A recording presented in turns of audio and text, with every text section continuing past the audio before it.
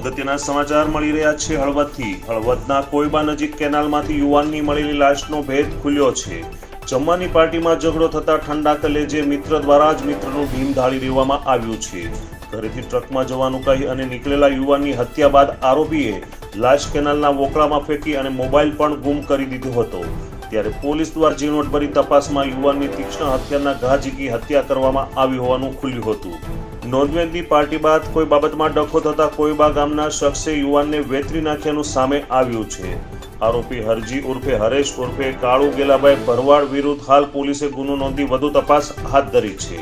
હત્યાના ભેદ ભરંભર્યા આ કિસ્સામાં મોરબી એફએસએલ અને મોરબી એલસીબી અને હળવદ પોલીસની જુદી જુદી ટીમ બનાવી આરોપીને પકડવા માટેના ચક્રો ગતિમાન કર્યા છે. Mayur Raval GTV news, Halvad.